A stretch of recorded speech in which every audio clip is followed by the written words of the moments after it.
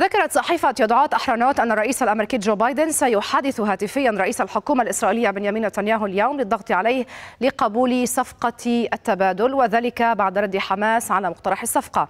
وقد أفاد مكتب نتنياهو بأن الحكومة الأمنية الإسرائيلية ستبحث مقترح حماس لوقف إطلاق النار في غزة. وقبلها سيلتقي نتنياهو بفريقه المختص بالمفاوضات. ونقلت القناة الثانية عشرة عن مسؤول إسرائيلي على صلة بالمفاوضات قوله إنه تم تلقي إجابة من حماس دون أن تطالب فيها بالالتزام بوقف الحرب في المرحلة الأولى من الاتفاق. وأوضح المسؤول الإسرائيلي أن ذلك قد يتيح عودة المحتجزين من النساء والأطفال والجرحى والمرضى وكبار السن. وأضاف المسؤول الإسرائيلي أن خيار العودة للقتال قائم حال انتهكت حماس شروط الاتفاق الذي يشكل الأساس لصفقة جيدة.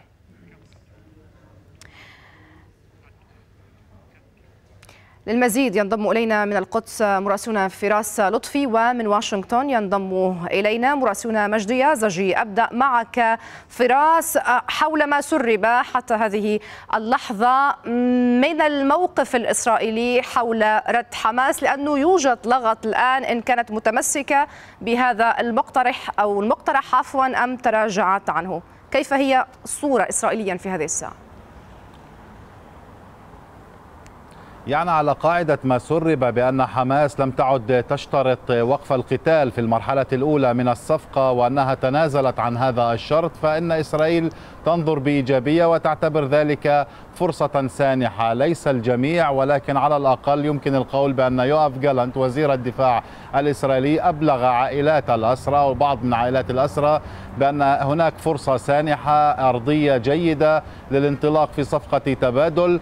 رغم أن الجميع يشكك في نوايا وتوجهات بنيامين نتنياهو. كايزنكوت مثلا وزير أو عضو المجلس الحربي الإسرائيلي الأسبق الذي قال بأن بنيامين نتنياهو سيرفض هذه الصفقة لاعتبارات وحسابات سياسية شخصية ضيقة كونه مكبلا باليمين الإسرائيلي المتطرف ويقصد بذلك بتسل سموتريتش وإيتمار بنكفير. وبالتالي فإن الأمور هنا واضح بأن هناك فجوة ما بين الجيش الذي يرى بأن وقف القتال لأسابيع حتى المرحلة الأولى وإنجازها هو أمر لا ضير فيه ولكن بنيامين نتنياهو حتى الآن لم يقرر ما إذا كان الرد سيكون إيجابيا أم لا. بكل الأحوال سلسلة ستسبق هذا الرد الإسرائيلي من الاجتماعات من بينها اجتماع بنيامين نتنياهو مع الوفد الإسرائيلي المفاوض ومع مجلس حربه المصغر الجديد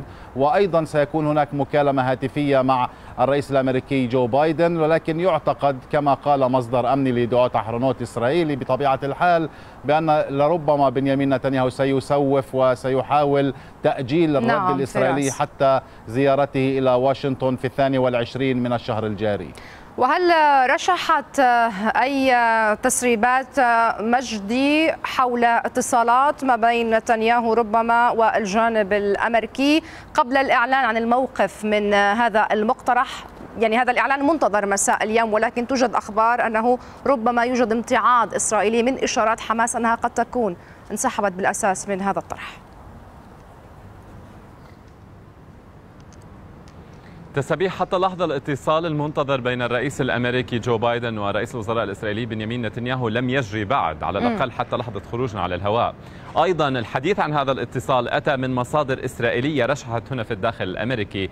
دون أي تأكيدات أمريكية أن مثل هذا الاتصال سيتم إجراؤه ولكن عادة عندما تأتي هذه التسريبات الإسرائيلية يعني تتبلور على الأرض لاحقا. النقطة الثالثة الرئيس الأمريكي جو بايدن من مصلحته إتمام هذه الصفقة. نعم تعطلت عجلة أو عجلة المفاوضات لأسابيع طويلة الآن تعود لتدور ولكن ببطء شديد. لكن داخليا أيضا من مصلحته أن يثبت أنه قادر على تحقيق إنجاز واختراق كبير عندما يتعلق الأمر بالسياسة الخارجية والأمن القومي الأمريكي وأن يتوصل بالفعل إلى صفقة لتبادل الرهائن والأسرى والسجناء والمحتجزين. وبعد ذلك وقف لإطلاق النار حتى لو كان مؤقت في قطاع غزة، هناك مصلحة أمريكية ولجو بايدن تحديدا كبيرة جدا في هذه الآونة تسابيح. يعني سنتابع على الأقل خلال الساعات القادمة معك مجدي. إن كان هنالك اتصال حقيقة سيجرى ما بين الجانبين. مجدي يازجي من واشنطن ومن رام الله فراس لطفي. شكرا جزيلا لكما فراس ومجدي على كل هذه المعلومات.